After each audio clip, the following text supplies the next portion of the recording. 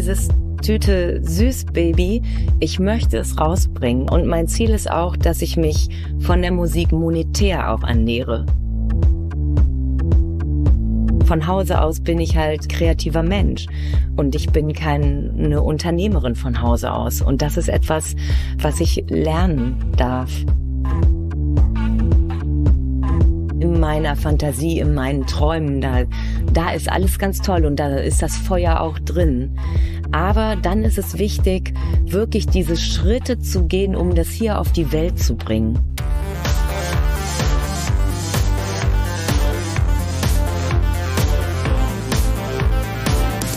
Hi und herzlich willkommen zum Podcast von Raketerei. Ich bin Imke, Gründerin, Mentorin, Ideengeberin, Partnerin in Crime. Ich unterstütze Musikerinnen dabei, sich eine unabhängige, selbstbestimmte und profitable Karriere in der Musikbranche aufzubauen. Für mich geht es darum, dass sich jede Musikerin die Karriere erschafft, die zu ihrem ganz individuellen Lebensentwurf passt. Daher beantworte ich in meiner Podcast-Serie zentrale Fragen zur Musikbranche, mache auf Mechanismen aufmerksam, die Sichtbarkeit und Wachstum fördern, ich empowere und vernetze. Raketerei ist die Räuberleiter für Musikerinnen in die Musikbranche.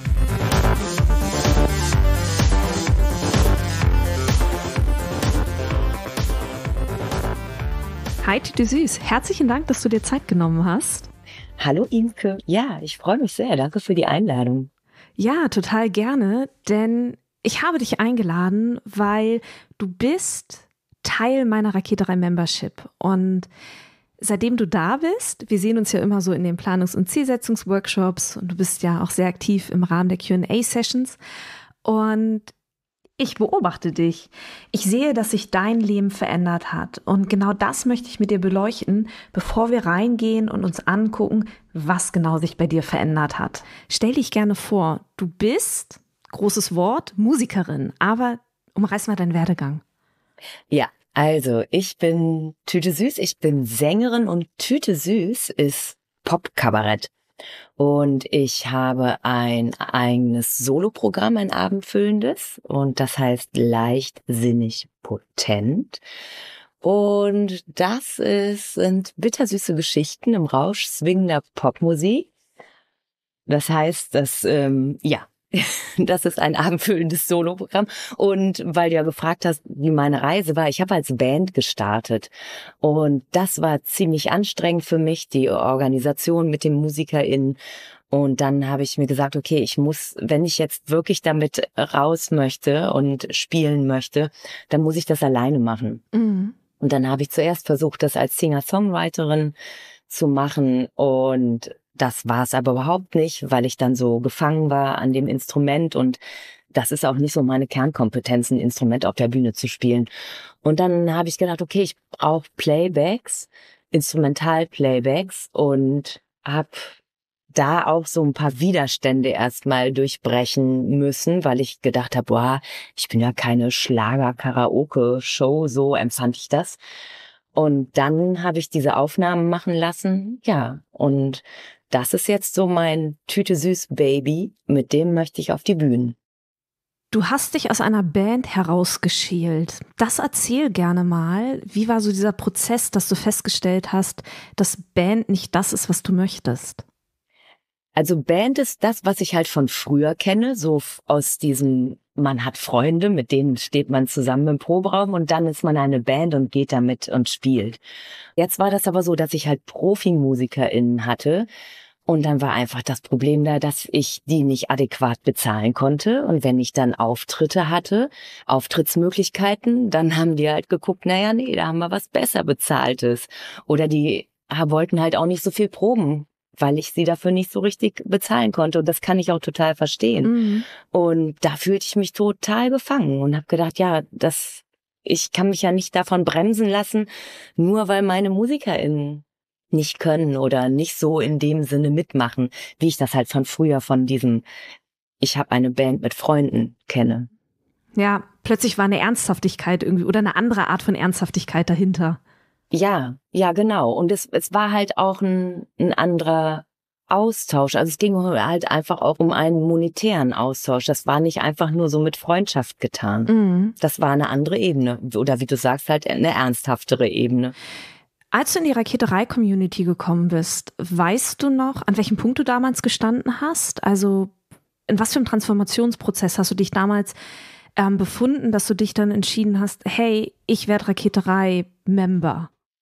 Also das war genau der Punkt. Ich hatte das Booking Bootcamp mitgemacht. Mhm. Und in dem Booking Bootcamp habe ich intensiv an meinem Über mich Text und an meinem Booking Video gearbeitet, so dass ich an den anderen Schritten die ich da dachte, die ich da äh, auch schon umsetze, nicht nur lerne, sondern auch umsetze, zu denen war ich noch gar nicht gekommen. Und ich war so stolz auf mich und so motiviert darüber, dass ich diesen Text geschrieben habe, fühlte mich so in meiner Künstlerinnenidentität viel positionierter und auch mit meinem Booking-Video, dass ich gedacht habe, ich will diesen Flow jetzt ja nicht verlieren. Und ich hatte große Angst davor, dass wenn ich jetzt wieder alle, wenn dieses Booking Bootcamp, wo ja auch eben sechs Wochen lang ein intensiver Austausch mit anderen Musikerinnen stattfand, wenn das wegbricht, dass ich dann wieder alleine dastehe und nicht, nicht weiterkomme. Und das war da so der Punkt, dass ich dieses Bedürfnis hatte, ich möchte weiter diesen Austausch, ich möchte so eine Hand oder mehrere Hände, die mich so ein bisschen mitnehmen, ja, und dann habe ich gedacht, jetzt ist das der Punkt für die äh, Raketerei Membership. Mhm. Wir haben gerade im Vorgespräch äh, schon ganz kurz drüber gesprochen und das hast du mir dadurch auch wieder so total zurück ins Gedächtnis geholt. Ich hatte das gar nicht mehr so auf dem, auf dem Schirm. Das ist mir erst klar geworden, als ich deine Buchung dann wieder gesehen hatte. Es ist das zweite Mal Raketerei Membership. ja, genau. Ja, ich war schon mal in der Raketerei und das hatte mir einerseits gut gefallen. Also ich empfinde dieses Konzept einfach als so klug und so sinnig. Es macht so, es ergibt so einen Sinn. Aber es war für mich nicht der richtige Zeitpunkt. Es hat mich total überfordert. Ich habe gedacht, es ist ja, es ist ja sehr viel Input, den man bekommen kann. Mhm. Und ich habe gedacht, ich muss alles mitnehmen und ich muss das jetzt alles umsetzen. Und dann war ich so total getrieben, so innerlich und habe gedacht, oh, das das musst du, ich muss es so machen, wie das jetzt dort gesagt wird. Und ich muss das jetzt alles machen und umsetzen. Und das war's nicht. Und dann habe ich auch Gott sei Dank dann erstmal gesagt, nee, ich trete wieder aus, hatte das aber immer im Hinterkopf und auch immer äh, bei, ich war ja auch oder bin auch in der Facebook-Gruppe mhm. und das hat mich auch immer so, immer wieder habe ich drüber nachgedacht, boah, das ist so ein kluges Konzept, wieso, wieso greift das jetzt nicht für mich? Und dann als ich dann das Booking Bootcamp, als ich mich dazu angemeldet habe, war das auch einfach so ein innerer Impuls, das mache ich jetzt. Und dann kam auch dieser innere Impuls, ja, und jetzt mache ich auch wieder der, äh, die Rakete rein Membership. Und das war, ja, das war schön dann auch zu sehen, okay, jetzt ist es auch der richtige Zeitpunkt ein wahnsinnig mutiger Schritt, Dörte. Ich finde das richtig, total, richtig cool, richtig cool, dass du so deinen Zeitpunkt gefunden hast. Du hast gesagt, nach dem Booking Bootcamp wolltest du dranbleiben an den Themen. Das heißt, Booking ist so das eine. Um was, um was geht es für dich in der Membership? Für mich persönlich, mein inneres Ding ist halt so, ich möchte dieses Tüte Süßbaby, ich möchte es rausbringen und, ist, und mein Ziel ist auch, dass ich mich von der Musik monetär auch ernähre. Nicht nur was den Rest betrifft, sondern ich möchte, dass es mich monetär ernährt. Und das ist etwas, dieses ganze Wissen, was es dazu braucht und das Durchhaltevermögen. Das habe ich mir jetzt mal eingestanden. Das habe ich alleine nicht das kann ich nicht aufbringen. Und das finde ich auch ähm, sehr legitim. Völlig. Also von Hause aus bin ich halt kreativer Mensch und ich bin keine Unternehmerin von Hause aus. Und das ist etwas, was ich lernen darf. Ja. Total. Wenn wir in die Membership gucken, ich habe es gerade schon gesagt, du bist in den QA-Sessions immer mal dabei, wo man einfach Fragen einreichen kann, wo wir gemeinsam ins Gespräch gehen, uns individuell Themen widmen, Planungs- und Zielsetzungsworkshop. An welchen Angeboten nimmst du noch teil und warum? Mm, oh, mein Lieblingsangebot quasi ist das Erfolgsteam. Ich habe äh, ein Erfolgsteam gebildet mit einer anderen Musikerin und da verabreden wir uns tatsächlich zweimal pro Woche. Wir tauschen uns aus. Wir haben es aber auch so gestaltet, dass wir direkt einen Coworking Space daraus machen. Also, mhm. Also ähm, wir treffen uns per Zoom und dann äh, tauschen wir uns aus. Dann arbeiten wir jeder für sich eine Stunde lang und dann tauschen wir uns danach wieder aus. Und das ist toll als Selbstständige ist man ja halt auch viel alleine mit seiner Arbeit zu Hause. Ja. Und es tut mir total gut, da einfach dann mal zweimal in der Woche so einen Menschen zu haben, mit dem ich mich da wirklich so austauschen kann. Was hat dieses Erfolgsteam bei dir verändert? Was würdest du sagen? Mm, das ist jetzt ein Erfolgsteam zum Thema Booking. Und das hat mir eine Routine, eine Booking-Routine habe ich seitdem und die ist jetzt auch nicht nur zweimal die Woche, sondern tatsächlich viermal die Woche. Ich habe vier Einheiten in der Woche, wo ich mich um Booking kümmere. Und es zeigt mir immer wieder, dass es ganz normal und etwas, was zum Leben dazugehört, dass es in Rhythmen und Zyklen verläuft, ja. Dass du Scheißmomente hast und dass du ganz tolle Momente hast und dass sich das immer wieder abwechselt und dass es ja, dass du einfach, weil, dass es notwendig ist, weiterzugehen und dich nicht zu sehr von den einzelnen kleinen Stationen, die dich vielleicht runterziehen können, äh, dass du dich davon nicht abhalten lässt. Mhm. Schön. Konntest du mir folgen? ja, ich kann dir. ich gehe mal kurz raus. ja, ich kann dir total folgen. Ich weiß ja nur auch, wer deine Partnerin in deinem Erfolgsteam ist. Und ich finde halt auch, ja. dass ihr beide halt auch menschlich so unfassbar gut zusammenpasst. Und ich glaube, das ist auch ein ganz wichtiger Punkt, dass diese Erfolgsteams im Rahmen der Membership halt auch zünden. So dieses, dass es halt auch menschlich passen muss, ne? dass man irgendwie eine Ebene zueinander hat, aber auch, dass man eine ähnliche Einstellung zur Arbeit hat. Ne? Wenn man da eine bei Sitzen hat, die die ganze Zeit nur quatschen will und die andere intensiv arbeiten möchte, dann kommt man halt nicht voran. Nee, dann, dann ist es so ein Energiesauge-Prinzip. Ja, das könnte total. sich natürlich auch entwickeln. Ja, ja, total. Auf jeden Fall. Du bist, ich glaube, Anfang letzten Jahres beim ersten Booking Bootcamp dabei gewesen, oder? Nee, beim zweiten. Ah, okay, dann bist du, ich würde sagen, jetzt ein Dreivierteljahr Teil der Membership. Mhm. Kannst du skizzieren, was sich so in dieser Zeit bei dir verändert hat? Also so, du hast eine Booking-Routine entwickelt, was schon mal großartig ist. Was hat sich bei dir noch verändert? Ich habe insgesamt eine Arbeitsroutine entwickelt und zwar das, was ich mir auch vorher gewünscht hatte, dass ich wirklich den größte Zeit meiner Arbeit wirklich mit Tüte süß verbringe. Also ich, um mich monetär zu ernähren, muss ich halt auch noch was anderes machen. Aber Tüte Süß nimmt auch wirklich die meiste Zeit ein. Und das ist für mich, oh, da, da kann ich drin aufatmen, dass das einfach jetzt so geworden ist und dass das nicht mehr wegbricht. Dass es, ich habe eine Freude an dieser Arbeitsroutine. Schön. Und das ist total schön, dass ich halt morgens aufwache und äh, dann rattert mein Kopf schon so und er rattert aber nicht so, oh, was muss ich heute alles erledigen, sondern ah ja, genau, was mache ich denn gleich? Ah ja, da wollte ich das Video schneiden. Ach, was mal. Und das ist das hat so was spielerisches und so eine Leichtigkeit und das genieße ich total. Das ist so, wie ich mir das immer gewünscht habe. Schön. So. Mhm. Und ich habe keine Zweifel mehr an dem Tüte süß arbeiten an sich. Also ich habe nicht mehr die Zweifel daran, ach, soll ich das wirklich, will ich denn wirklich so auf die, muss das denn sein? Ist das nicht alles schon zu spät und äh, braucht mich die Welt da auf der Musikbühne? Diese Zweifel, ähm, die kommen nicht mehr. Das ist, das ist jetzt einfach mal, nee, das habe ich entschieden. Und das mache ich. Das ist dein Weg das ist mein Weg. Ja.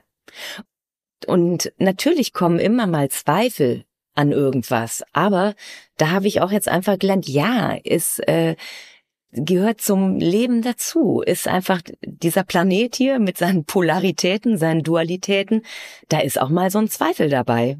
Aber das Schöne ist ja im Austausch in der Community, wenn andere dann ihre Themen oder ihr, ja, gerade ihr Thema, wenn sie was drüber schreiben, dann ist das auch was so, wo ich mich wiedererkenne und wo ich so denke, ah ja, den Anteil habe ich in mir auch oder diese Situation kenne ich auch und ich werde dadurch direkt dann auch gespiegelt und lerne dabei jedem Mal, wo ich das bei anderen beobachten kann, lerne ich da oder werde dran erinnert, ja, stimmt, das kenne ich auch, das gehört auch dazu. Und das ist auch einfach so, das ist kein Drama. Das ist mal eine Phase oder ja. Und das hilft mir, damit so umgehen zu können und das Ganze mit einer Leichtigkeit zu nehmen und nicht so abzustürzen, wenn, wenn ich mental der ganzen Sache vielleicht mal für einen halben Tag nicht gewachsen bin oder mich nicht gewachsen fühle. Mhm. So.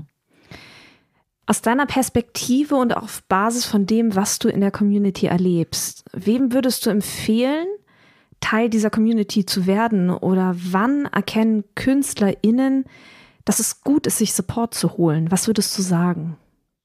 Ich würde sagen, dass es, also es gibt so eine innere und so eine äußerliche Ebene. Wo man auf der äußerlichen Ebene steht, das ist völlig egal, ob du jetzt schon dein Geld komplett damit verdienen kannst, ja?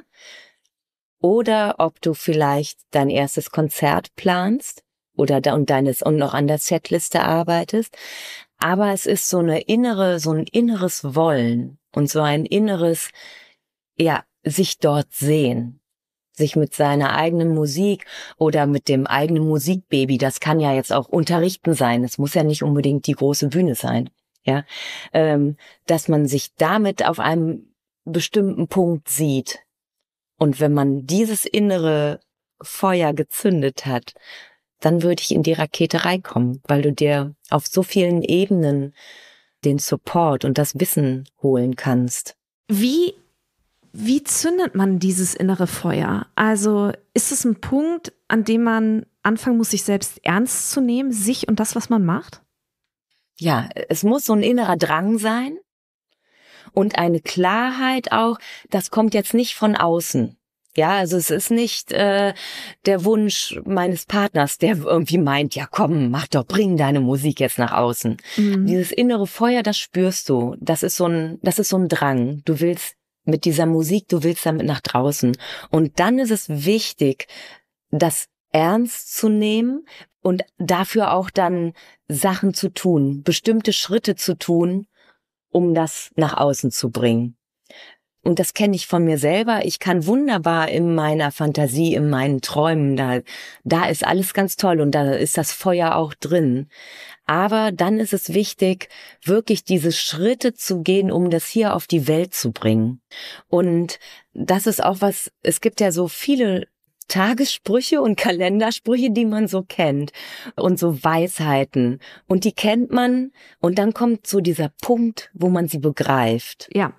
Und ein Spruch von der Raketerei ist ja dieses, das Musikbusiness ist kein Sprint, das ist ein Marathon.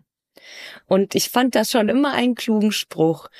Und irgendwann kam so dieses, ah, ich begreife ihn. Ja, jetzt wird der Präsenz, geht er, kommt er in meinen Körper. Mhm. So. Und das war ein toller Moment. Jetzt, Imke, bin ich damit aber abgewendet schon wieder von der eigentlichen Frage, oder? Nee, du hast die Frage, du hast die Frage ganz genau beantwortet. Du hast sie ganz genau beantwortet. Ich glaube, man muss sich, also ich glaube, man muss sich einfach bewusst machen, dass am Anfang ein Gefühl oder eine Idee steht. Und du redest aus Künstlerin-Perspektive. Ähm, ich rede von der anderen Seite der Musikbranche, aber auch ich habe ja nicht mein Leben lang Raketerei gemacht. Raketerei wird, ich glaube, sieben oder acht Jahre alt. Das weiß ich so genau gar nicht. Okay. 2017. Genau, 2017 habe ich Raketerei gegründet. Aber davor habe ich ja auch bei einem Label gearbeitet. Und ich weiß ganz genau, wie diese Idee dieser Community mich so ganz langsam ankroch. Und am Anfang kann man es vielleicht noch wegschieben und denken, nein, mir geht's hier in der Situation aber gut. Aber die Idee kommt immer wieder und immer wieder und immer wieder und diese Intervalle werden immer kürzer. Und dann kann man eben entscheiden, lasse ich das Feuer anzünden oder ersticke ich es mit dem Tuch? Mhm. Deswegen, Tüte Süß, das ist, mhm. das ist genau beantwortet. Okay, ja, sehr schön. Bist du Musikerin und möchtest mehr Konzerte spielen? So gewinnst du VeranstalterInnen für dich und deine Musik. In acht einfachen Schritten zu mehr Konzert zu sagen. Was du tun musst, sichere dir die Booking-Checkliste mit den acht gedanklichen Impulsen. Denn sie unterstützt dich dabei, VeranstalterInnen für dich und deine Musik zu gewinnen. Trag dich ins verlinkte Formular ein, erhalte die Booking-Checkliste per E-Mail, professionalisiere dein Booking und profitiere ein Leben lang. Tüte süß, so abschließend zusammenfassend, was würdest du Musikerin aus deiner, aus deiner Erfahrung, die du gesammelt hast, was würdest du ihnen mitgeben? Also, den Musikerinnen, die jetzt hier zuhören, den würde ich tatsächlich gerne mitgeben. Okay, wenn da irgendwas in dir kribbelt und du denkst, oh ja, das ist dieser Podcast, der ist mir jetzt nicht zufällig über den Weg gelaufen, den höre ich mir nicht zufällig an, dann, dann, dann geh noch mal mehr rein so in die, äh, in die Raketerei, ob es nicht jetzt gerade der richtige Zeitpunkt für dich ist damit du dich nicht in fünf Jahren, ja, dass du traurig bist und denkst, boah, damals wäre ein super Zeitpunkt gewesen, ich habe ihn irgendwie verpasst. Ja. Ja, das würde ich gerne mitgeben. Danke, Tüte Süß. Wenn ich dich mal live sehen möchte, wo muss ich hingehen? Oder auch, sag mal, wo kann ich denn eigentlich dein Newsletter abonnieren? Wo, wo kann ich hinklicken? Oh ja, also, mein Newsletter kannst du hinklicken, äh, abonnieren unter www.tütesüß.de. Du kannst mir auf Instagram folgen, auf Facebook, auf YouTube. Mein YouTube-Kanal wird wieder frisch bespielt. Yay! Yeah. Und wenn du in Berlin bist, dann kannst du mich da öfter mal in der Scheinbar treffen. Wenn du in Braunschweig in der Nähe von Braunschweig bist, kannst du mich dieses Jahr dort im Kult, im Das Kult sehen. Und ja, für alle te anderen Termine, die jetzt demnächst durchs Booking reinkommen, geh auf meine Webseite www.tütesüß.de. Mega cool. Herzlichen Dank für deine sehr persönlichen Worte, Tüte Süß, und dass du uns den Einblick gegeben hast. Ja, sehr gerne. Ich danke dir, liebe Imke. Zum Ende der Folge möchte ich gerne noch ein Update zum Raketerei Ready for Takeoff Programm geben. Kurz zum Programm selbst. Das ist ein zwölfmonatiger Intensivkurs, in dem es darum geht, Strukturen zu professionalisieren, Reichweite aufzubauen und einen Grundstein wirklich für Umsatzwachstum zu legen.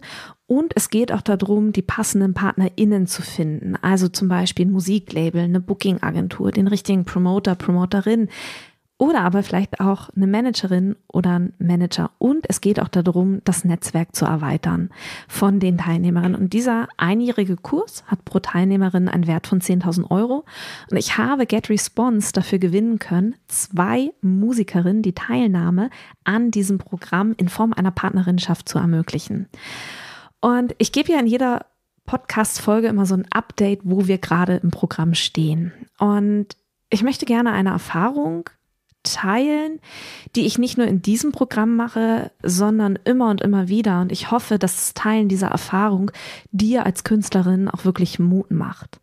Ich stelle es immer wieder fest, dass wenn die Gruppenprogramme starten, egal in welcher Größe, wobei ich keine großen, großen Gruppenprogramme habe, meine Gruppenprogramme sind immer sehr klein gehalten, weil es mir wichtig ist, individuell für die Musikerinnen auch wirklich da zu sein und ansprechbar zu sein. Und ich merke immer wieder, mit wie viel Euphorie in meine Gruppenprogramme gestartet wird. Wir starten, ich habe es ja auch erzählt im Podcast, immer mit einer Strategie-Session, mit einer individuellen, wo es wirklich darum geht, okay, was ist der Fokus in diesem Jahr? Wie können wir diese Ziele wie Umsatzwachstum, Reichweitenaufbau, wie können wir die erreichen? Und wir, wir planen das Jahr. Quartal für Quartal für Quartal. Und ich merke, dass danach die Künstlerinnen immer so total hyped sind. Ähm, wenn diese Strategie-Sessions sind, kurz danach kommen dann auch die ersten Strategietage hier in Hamburg. Das heißt, in meinem Programm wird Online- und Offline-Arbeit immer miteinander kombiniert. Und da wird dieser Hype noch weiter vorangetrieben, weil die Teilnehmerinnen immer wahnsinnig motiviert sind. Ne, erst die Strategie-Session, jetzt die Strategietage, da lernt man sich persönlich kennen, man trinkt einen Wein zusammen, man geht zusammen Mittagessen. Es geht um Business, es wird gearbeitet, aber es wird auch ganz viel privat geredet. Und was ich dann eben auch beobachte, ist, dass wenn wir dann quasi zurück sind in unserem Alltag, wenn wir dann in die Zoom-Sessions zurückkehren, dass es nicht immer einfach ist, dran zu bleiben, weil dann der Alltag reinkickt. Aber der Unterschied ist, und das ist mir ganz wichtig zu betonen, ja, der Alltag mag reinkicken, aber in einer Gruppe ist man nicht allein und man trägt sich. Man trägt sich auch durch diese Phasen durch. Und genau das darf ich auch beim Raketerei Ready for Takeoff Programm gerade beobachten bei den Teilnehmerinnen, wie man emotional durch Wellen geht. Es geht hoch, es geht runter, es geht hoch, es geht runter und das ist auch total in Ordnung. Wichtig ist, dass man da nicht alleine durchgeht, sondern dass man einander hat und sich gemeinsam durch diese Zeit durchträgt, denn das ist das Leben. Das Leben besteht aus Höhen und Tiefen. Und wenn du Musikerin bist und du auch die Chance bekommen möchtest, dich auf einen der wenigen Plätze in diesem Raketerei Ready for Takeoff Programm zu bewerben, weil du fit gemacht werden möchtest für den Musikmarkt, dann solltest du dich unter www.raketerei.com in den Raketerei Newsletter eintragen, den abonnieren. Denn das ist der einzige Ort, an dem ich auf dieses Programm aufmerksam mache. Das ist der einzige Ort, an dem ich über dieses Programm berichte. Und das ist auch der einzige Ort, an dem ich sage, wann sich die Türen wieder öffnen, ab wann sich wieder beworben werden kann. Das heißt, wenn auch du dich professionalisieren möchtest, wenn du Reichweite aufbauen willst, ja, wenn du die passenden PartnerInnen finden möchtest, wenn du dein Netzwerk erweitern willst. Hey, worauf wartest du? Ab in mein Newsletter, dann kommen die Informationen direkt zu dir ins Postfach.